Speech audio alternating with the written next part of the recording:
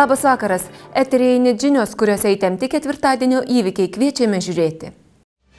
Juodasis ketvirtadienis Kaune ir Kauno rajone. Petrašiūnuose išsprogdinti bankomatai, siauba kelintis įvykiai Karmėlavoje. Savo tikrą dukrą ir jos sugyventinį bandęs nušauti vyras padegė namą ir nusišovė pats.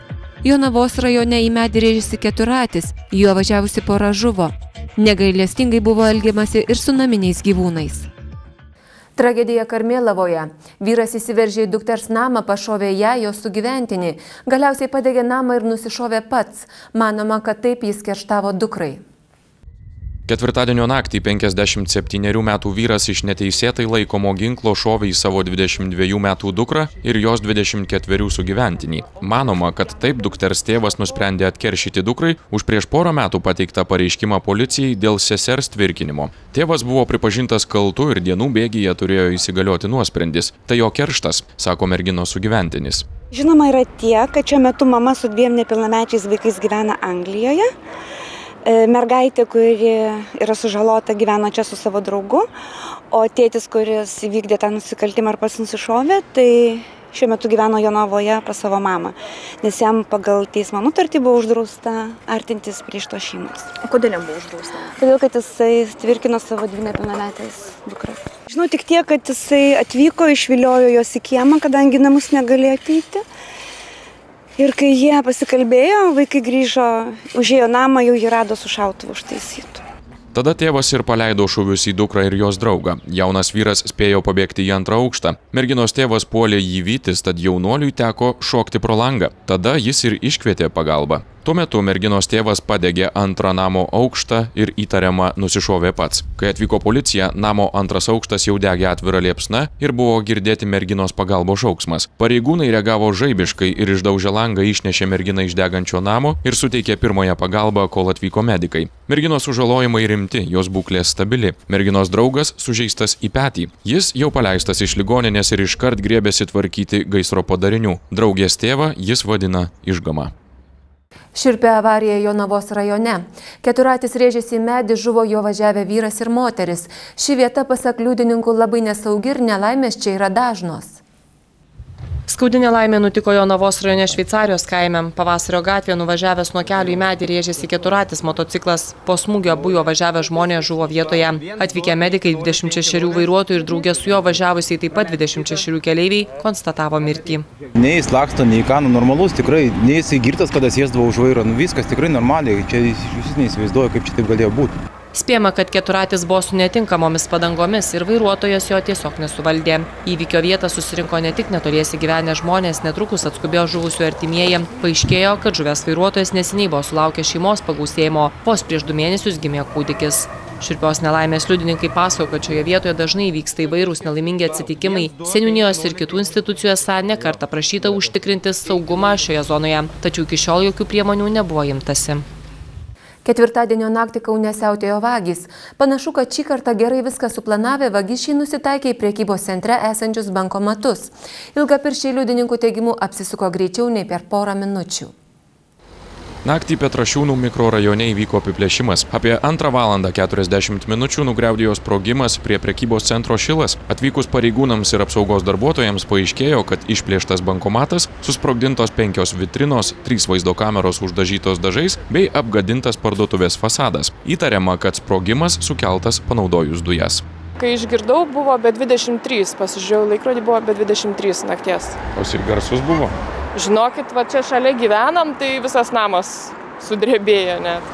Liudininkų teigimu viskas įvyko žaibiškai. Po sprogimo maždaug po pusės minutės nuo šilo parduotuvės dideliu greičiu spruko juodas automobilis. Po maždaug trijų minučių atvyko keli policijos ekipažai ir apsaugos automobiliai. Buvo bandyta vytis plėšikus. Pasakojama, kad bankomatas liko vietoje, tad neaišku, ar ilgapirščiams pavyko pagrobti pinigus ir jei taip, kiek jų bankomate buvo. Dėl įvykio pradėtas ikiteisminis tyrimas. Gyvūnų gelbėtojai šokiruoti. Žmonės augintiniais atsikrato įvairiausiais būdais. Šią savaitę teko gelbėti medį įstrigusi katiną, kuris, kaip paaiškėjo, buvo pririštas virve prie medžiaginio maišo. Virvė ir maišas įsipainiojo tarp šakų ir gyvūnėlis nesugebėjo net pajudėti. Apie kleboniškio miške medį įstrigusį katiną gyvūnų globėjams pranešė su anuku ten vaikštinėjusi močiutė. Norint iškelti gyvūnėlį į pagalbą teko kviesti ugnegesių su kopiečiomis. Net ir burzgiant pjūklams keturkojais nepajudėjo iš vietos ir tik nupjovų šaką paaiškėjo kodėl. Labai jau taip tikėjomės, kad jau kai jau pradėsim pjauti šaką, tai jau tikrai tas katinas pats šoks iš medžio, nes taip dažniausiai ir būna, jeigu katinas yra tiesiog paprastai lipęs. Bet labai nemaloniai nustebome, kaip medžio šaka nukrito ir pamatėm, kad katinas iš tikrųjų yra pririštas prie maišelio e, medžiaginio ir tas maišelis yra užsisukęs ant šakos be jokios galimybės katinui išsilaisvinti jau pačiam. Katytė labai sulysusi, greičiausiai kurį laiką badavo. Specialistai pastebėjo, kad ji nebijo žmonių, drąsiai tyrinėja aplinką ir leidžiasi glostomą. Tad manoma, kad augusi pa žmonės. Gyvūnų globėjai kelia įvairias versijas, kas nutiko keturkojai. Galbūt katytė buvo laikyta pririšta ir nešiota medžiaginėme maiše, kol neištvėrusi bandė sprūkti, bet nesėkmingai. Bet tai labiau, labiau plaukuotas maišas būtų. Nu, nėra, kad jisai priaugęs labai plaukų būtų. O pažiūrėk, kur antkaklis. Jisai susivėlęs toksai, ne? Nu, tai šitas jau seniai. Mm. Va, prisivėlė plaukų, sakykime. Čia kaip ir nėra. Gal įtarimas, kad tai buvo auginta jinai ant šniūro. Labiausiai tikėtina, kad žiauriai su augintiniu atsikratė jo šeimininkas, tik per stebuklą gyvūnėlis liko gyvas. Greičiausiai buvo bandoma atsikratyti, nu, pagal tokį bendrą vaizdą nu, ir pakankamai žiūriu tuo metodu, kad pririšant, e, į maišą įdedant, nors mais, maišas medžiaginis, tai atrodo kaip ir galėtų kvepuoti, bet jeigu ne ši moteris, kuri neliko bejinga, tai katinui būtų buvęs vienas kelias, tai pražutis. Iš medžių iškelta katytė paskiepita, paženklinta ir sustiprėjusi lauks naujų namų. Gyvūnų globėjai sako, kad nors gyventojai samoningėja, vis dar užfiksuojama daug žiauraus elgesio su gyvūnais atvejų. Vis dar esame lyderiai ne tik pagal girtavimą, bet ir pagal savižudybės. Su alkoholiu kovoti dabartinė valdžia ėmėsi ryštingai ir gal net drastiškai. Dėja, savižudybių draudimais nesumažinsi. Kol kas vienintelis Vilnius mėgina kažką daryti, kad situacija gerėtų. Šiemet, kaip ir pernai, savižudybių prevencijai sostinė skyrė trečdalį milijono eurų. Lietuva pagal savižudybių skaičių trečdalių viršė ES vidurkį, o vyrai žudosi šešis kart dažniau nei moterys. Atsakymo, kodėl Lietuvoje tiek savižudybių, nėra. Galbūt nusivylimas gyvenimu, kai kada tam pastumė socialinės ar finansinės problemos. Apibūdinti tai visų pirma yra e, pasikeitimas emocijose, emocinėme fone. Žmogus tampa arba labiau prislėgtas, e, labiau užsidaręs, labiau nekalbus negu jam įprasta, arba kaip tik ypatingai aktyvus taip pat labai elgesys daug ką išduoda jeigu žmogus ima tarkim atsisveikinti grąžinti skolas ir daiktus e, ima tarsi kaupti tam tikras atsargas e, arba ieškoti nu, to būdo instrumento nusižudyti planuoja apie vietą kalba apie tai. Ir tos vat žodinės užuominos būtent kad e, gali žmogus užsiminti apie tai ir nebūtinai tiesiogiai kad aš ketinu ir galvoju nusižudyti bet netiesiogiai netiesiogiais būdais. Pavyzdžiui norėčiau užmigti ir nebepabusti Nuo nepriklausomybės atgavimo savižudybių skaičiai lieka dideli ir mažai kinta. Pasak specialistų, paskutiniuoju metu savižudžių mažėja, bet labai nežymiai. Savižudybių prevencijai Vilniaus savivaldybė šiemet vėl skyrė daugiau kaip 300 tūkstančių eurų.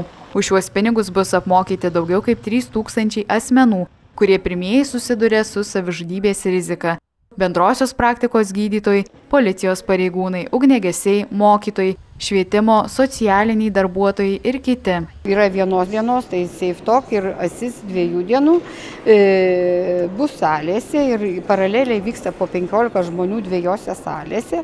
Skirtingi lektoriai yra pagal tarptautinės adaptuotas programas. Mes perniai metų plano lėšomis vertėm tas programas, adaptavom, reikėjo net filmuoti tas, bus rodomos situacijos, jos aptariamos Ir po to pertraukų metu tie, reiškia, 15 vienos grupės dalyvių ir kitos grupės susitiks, aptars. Dar čia, žinokit, mokymai tokie kaip ir praktiniai, teoriniai, kur dviejų dienų dar ten sudėtingiau. Vien tik Vilniuje 2011-2015 metais nusižudė 419 asmenų. Psichologų teigimu, padėti galima. Tiesiog artimiems draugams reikia stengtis neišsigasti ir mėginti kaip nors pasišnekėti su į neviltį puolusiu žmogumi. Vis nėra ramybės prezidento Algirdo Brazausko našliai Kristinai Brazauskiniai. Neseniai moteris buvo iškraustyta iš turniškių rezidencijos, o dabar našlės ir jos artimųjų turtais Junktinėse Amerikos valstijose susidomėjo finansinių nusikaltimų tyrimo tarnyba. Iki teisminį tyrimą dėl prezidento Algirdo Brazausko našlės ir jos artimųjų turto Junktinėse Amerikos valstijose FNTT pradėjo po to, kai informacija apie Kristinos Brazauskinės ir jos sūnaus iš pirmosios santokos Ernesto Butrimo kontroliuojamą turtą Floridoje pasirodė žiniasklaidoje. Prašydama šią informaciją įvertinti į teisėsaugą kreipėsi Seimo narė konservatorė Agnė Bilotaitė. Yra įtarimų, matyt, kad galėjo būti nuslėpti ir patys mokesčiai ir patikta apgaulinga informacija, buhalterinė apskaita buvo na, tvarkoma kažkaip na, neteisingai. Tai manau, lauksime toliau tyrimų rezultatų ir matyt paaiškės atitinkamai. Ar galima užduoti keletą klausimų? Negalit, nes vairuoju, atsiprašau labai. Tyrimo detalių pareigūnai kol kas nekomentuoja. Tyrimas atliekamas siekiant išaiškinti nekilnojamojo turto įsigijimui panaudotų pinigų kilmę. Taip pat tyriami įtarimai, jog draugystės viešbutis galėjo vykdyti apgaulingą buhalterinę apskaitą. Lietuviai vis mažiau valgo keulienos ir nors daugiau nei pusė Lietuvoje suvartojamos mėsos vis dar sudaro keulieną, sparčiai auga labiausiai paukštieną vertinančių gyventojų skaičius. Vis labiau įsigalint sveikatingumo tendencijoms, baltos ir raudonos mėsos mėgėjų pozicijos praktiškai yra apylygės, rodo naujausios apklausos. Lietuviai vis dažniau keulieną iškeičia į paukštieną, skelbia Spinter tyrimai. Jie rodo, kad 44 procentai gyventojų labiausiai mėgsta valgyti paukštieną, tuo metu keulieną tik 39 procentai. Prekybininkų nuomonė paukštienos pardavimai auga, nes ji gardi ir greit paruošiama. Mūsų manimo pirkėjai iš tiesų taupo laiką todėl kad vištieną paruošti yra kiek paprasčiau, lengviau, jie visada išlaiko geras skoninės savybės ir to, va, konkrečiai šiais metais pastebime, jog ypatingai populiarėja vištienos pusgamių, tai yra marinuotų blausdelių, šlaunelių, ketvirčių pardavimai. Tai yra tiesiog žmonės nori nusipirkti, išsikepti ir skaniai pavalgyti. Kiaulieną vis dar daugiausia valgo vidutinio ir vyresnio amžiaus vyrai gyvenantys mažesniuose miesteliuose ir kaimuose. Vištieną labiau mėgsta moterys ir jaunimas, o kalakutieną labiausiai vertina moterys gyvenančios didmišiuose. Jautieną dažniausiai renkasi aukščiausias pajamas gaunantis ir vadovaujančias pareigas užimantis gyventojai. Renkuosi ką pigiau. Pensija mažytė, ką čia gali įsirinkti labai. Vištiena, kalakutiena, vištiena, aviena ir, ir, ir, ir, ir jautienas. O kokią dažniausiai valgot? Dažniausiai aviena. Kodėl? Nu, todėl, kad mažiausia cholesterolio pirmoje eilėje. Antroje yra skani. Keuliena. O kodėl kiauliena? Na, nežinau, pripratau taip. Aš valgau šitą kalakutieną tik tais. O dabar va, gal tiesiog dėl... Va, biskį lašinukų paėmiau tų storų sūdytų. Keuliena, keuliena. Todėl, kad nemėgstu jautienos. Per paskutiniuosius šešerius metus labiausiai net trečdalių mūsų šalyje išaugo paukštienos suvartojimas. Jautienos ir veršienos šiandien suvalgome ketvirtadaliu daugiau nei prieš penkmetį. Medininkuose sulaikyta didelė rūkalų kontrabandos siunta. Vietoj legalaus krovinio Latvis puspriekabės slėptuvėje gabeno begalę baltarusiškų cigarečių.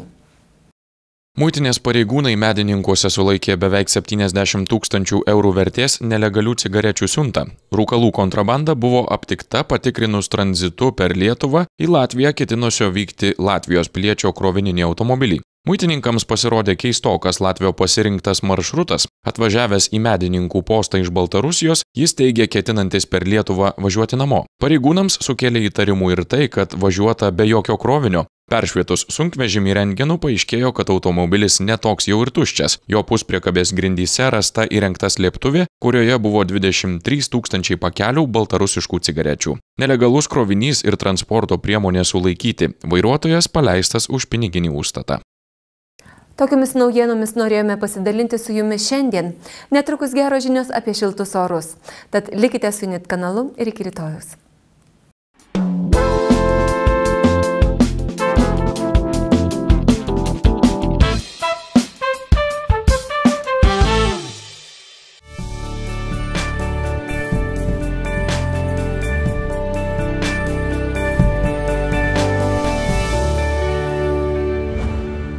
Artimiausią parą lietaus nenumatoma ir vėjas bus silpnas, o temperatūra naktį 9-14 laipsnių šilumos, dieną šils iki 20-25 laipsnių.